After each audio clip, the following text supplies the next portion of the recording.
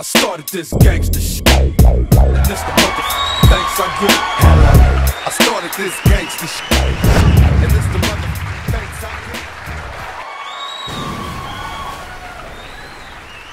get. All right, they're definitely a war in Lucasfilm. They really don't like Gina Carano and her politics, and they are making uh, no bones about it. Welcome to Comic Artist Pro Secrets. I am Ethan Van Sciver, a 28 year veteran of the comic book industry. So I saw this over on Reddit. Uh, somebody said, not sure if I'm reading too much into this, but somebody who works for Lucasfilm recorded a video of himself erasing Cara Dune, that's Gina Carano's character, from a Mandalorian promo image and drawing Ahsoka Tano uh, in instead. Uh, look, this tweet has been deleted, right? Somebody actually saved it. Uh, this is the tweet. Uh, this is the artist in question, a guy named Mark Rates, Rats. I'm not really sure, but I hope it's not Rats. That's an unfortunate last name.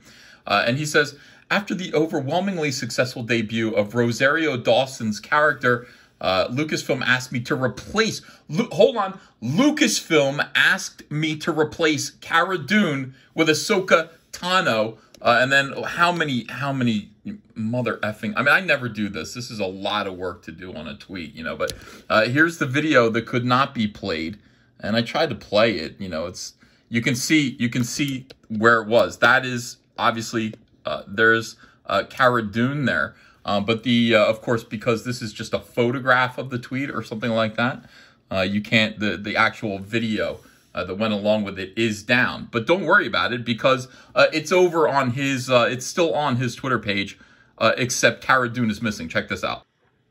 Okay, so here's the final piece here. It's still on his Twitter.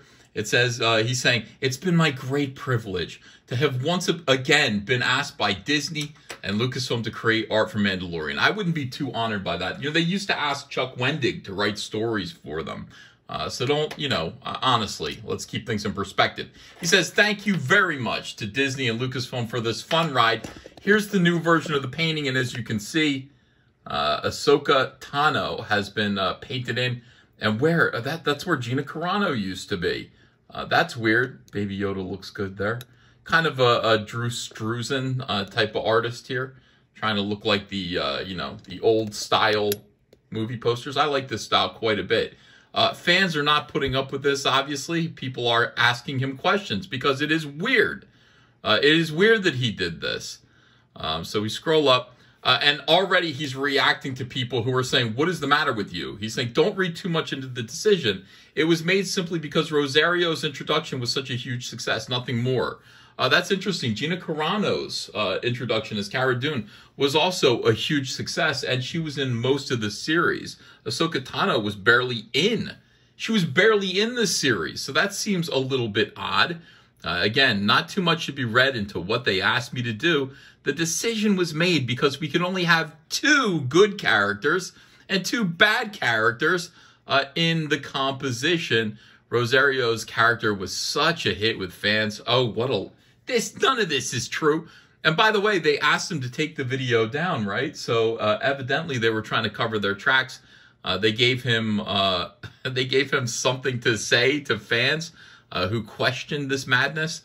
Uh, yes, they did. Not too much should be read into what they asked me to do. I'm reading, you know what? I'm reading a little bit more into it uh, than you would like me to. He said the decision was only made because we, okay, so he's got to repeat himself over and over and over again. Thank you. The composition was only allowed for two good and two dark side characters.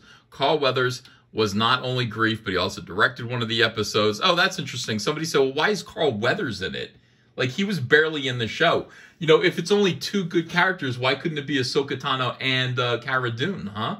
Why did it have to be a man and a woman? And, and why somebody like Greef Karga, who was, again, not really in the show all that much, uh, certainly not in the second season. Uh, nothing should be read into what they made me do. The decision was made because we could only have two good characters and two bad characters in the composition. Rosario's character was such a hit with the fans. Hey, Mark, how happy are you to uh, have to work for Lucasfilm, who made you change your painting out of spite and then fed you to the fans? Now the fans are sitting there going, this is weird. Why did this happen? Why did they deliberately make you go back and paint over uh, Cara Dune's face uh, for no particular, I mean, oh, because we can only have two? Why? Who made that rule? Uh, and again, why couldn't it be Cara Dune? Nothing should be read into what they asked me to do. He's got to repeat himself over and over again. Lucasfilm did this to this guy just because they're pissed off that Gina Carano, who is the actress who plays Cara Dune, has some Republican um, belief system or uh, politics. Uh, she has expressed uh, some conservative beliefs on Twitter. Uh, and because of that, she is, uh, you know, look, fans have tried to cancel her. Fans have tried to get her fired. There was a hashtag called Fire Gina Carano. Uh, but uh, of course, uh, we're not going to let that happen. That's ridiculous. And evidently, from what we hear, Jon Favreau is standing up for Gina Carano uh, as well. This is just weird and shameful. you know, look at this. Thank you. It was just causing too much of a headache for everyone. There was nothing malicious intended. Unfortunately, some folks made it so. Why couldn't they just accept your painting the way it was? You know, why couldn't they just accept your painting? I, I, you know, um, I cannot help uh, but to imagine that it had to have been uh, for reasons of politics. Uh, it is crazy. He says, uh, thank you. Sometimes the bigger uh, WWW gets in the way of making art. I think that's the World Wide Web. Uh, not to worry, there will be some more. Well, I would like to see that. Um, could you please? Uh, he said the art still exits, so it's not, I think you mean exists, so it's not gone. Mark, why not uh, do a painting, a complete, uh, glorious painting of Cara Dune then, uh, and see if uh, see if Lucasfilm is interested in that, or post it on your site. You know, just post, uh, or why not just post the original? You got a little spot right up here uh, where we can see that you are hanging out with. Wow, what is that? You? That's not you. why? Who are? Okay. Maybe that's a painting that you did. That must be the, I guess you did that Indiana Jones painting there. That's beautiful. Uh, why not just put the original up there for a little while? That would be nice too, so that we could actually see your beautiful painting of Gina Carano's Cara Dune, uh, and you'd be able to show us that it has uh, very little to do uh, with anything political uh, and everything to do with, oh, Ahsoka Tano uh, just stole the show in her one episode, which I highly doubt is the case. I'm sure she'll get more airtime in season three, but uh, Gina Carano won fans over. This really, really smells political to me. And uh, I'm going to call it out. I'm going to call it out. I'm going to say that's what it sounds like. The fans already assume uh, that that's what it was. And if it wasn't, why would Disney, why would Lucasfilm make this kind of a, an effort when they knew the fans would react this way? I point the finger of scorn. Not at you necessarily, Mark. I'm not so sure about you. But at Lucasfilm, finger of scorn. Thank you, everyone. Thanks for watching this video. Please like, share, subscribe.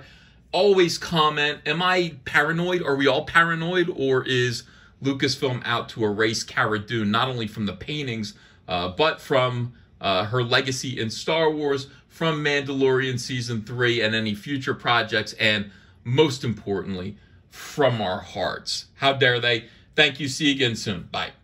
New from All Caps Comics Reignbow, the Brute the last real man in fairyland. A tale of prismatic pain, a spectrum of brutality, and a pretty good dad. Choke slam a unicorn by backing it today, only on Indiegogo. Hey, I got a P.O. box. Want to send me some mail? Send it to Ethan Van Sciver, P.O. Box 607, Marlton, New Jersey 08053. And I'll probably open it up on the live stream. Thanks very much, everyone.